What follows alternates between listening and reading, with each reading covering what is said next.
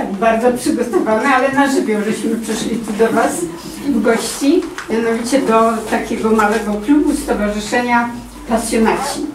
Chciałabym się dowiedzieć w imieniu Kreatywności Polskich Seniorów, bo jestem komentatorką tej strony, Jadwiga Schillinger, przedstawiliście mnie już na początku i chciałabym Wam zadać kilka takich prostych pytań e, dla wyjaśnienia, dlaczego tacy ten klub nosi nazwę Pasjonaci. Czym Wy się pasjonujecie?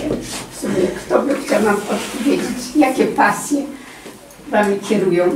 Proszę. Y, Ja obecnie y, pasjonuję się śpiewaniem.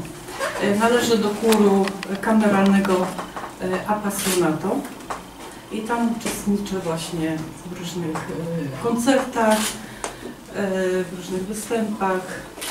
Tam się spotykamy się w Domu Kultury tutaj. A my dzisiaj traktujemy poezję, więc chciałabym się dowiedzieć, kto należy do tego klubu pasjonatów, No, jeżeli chodzi o poezję. wszyscy. Wszyscy. Tyle Was jest. Ile w ogóle członków liczy ten klub? 15. 15. A jak długo działa ten klub? 3 lata. A jak często się spotykacie? Każdy piątek. Jak długo to trwa, to takie przyjęcie No wasze? jak nam się długo podoba. Tak, Jak nam się podoba, to się Niekiedy słuchamy wieści wierszy, niekiedy, niekiedy Gramy, mamy organizowane na kijkach, chodzimy, no, Wycieczki też wycieczki organizujemy. Także wszystkim się pasjonujemy. A chodzimy do teatru, Tak, do, bardzo słuchamy często operetki. Tu w także- naszym Domu Kultury też współdziałamy, także nas bardzo uczestniczymy we wszystkim, co tam jest fajnego. Jak również Opereczka. indywidualnie też zajmujemy się każdym, jak na przykład ja zajmuję się tam wolontariatem jakimś, pomagam starszym osobom, y, czy po prostu chorym jakimś osobom też. Każdy z nas też jakąś taką pomoc, no, coś robimy społecznie, pasje mamy jakieś. Dlatego jest tak pasjonaci. A czy poezja tak od razu Was zafascynowała? No od kiedy właściwie Ja od zawsze lubię poezję. poezję. Tak, od y, powiedzmy czasów szkolnych poezja mnie bardzo fascynuje. Wiesia y, ma wiersze przecudne. Y, bra- bardzo, nawet teraz w tym wierszu, którym słyszała, potrafi żartować z własnej hobbynie. To jest y, bardzo pozytywne nastawienie do życia. A co jeszcze szukacie w poezji?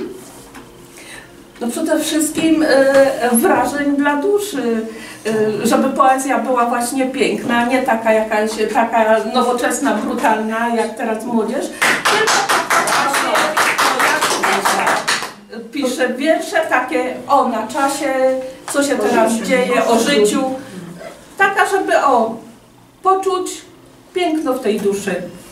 I to się właśnie ceni, bo Wiesia właśnie należy do takich poetyk, które ma złote myśli, złote słowa nam przekazuje piękną polszczyzną. Sama nawet zareagowała kiedyś na takim konkursie, gdzie pojawiały się współczesne wiersze, tak ordynarnymi słowami kreowane, że Wiesia się oburzyła i na gorąco napisała wiersz. Taki, który pokazał, obronie polskiej poezji, pani. Słyszałam. broni polskiej Ta poezji. skromna dziewczyna stanęła w obronie polskiej poezji. I tak trzeba robić. Za to ją bardzo cenimy. I cieszymy się, że ją mamy w naszej, w naszej grupie. A czy ta poezja może nas jeszcze czegoś nauczyć? Ta współczesna? No chyba każda.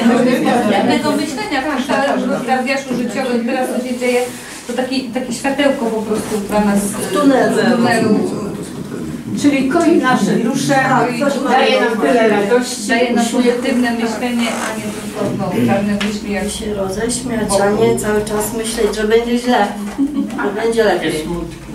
To dziękuję Wam bardzo za miłe słowa o poezji Pani Wiesi. Dziękuję.